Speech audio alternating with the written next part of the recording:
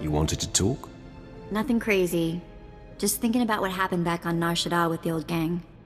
When I saw Taunt flirting with you, I don't know, it, it was... weird. Don't worry. No other Twi'lek in the galaxy can turn my head like you do. I don't get it. Really?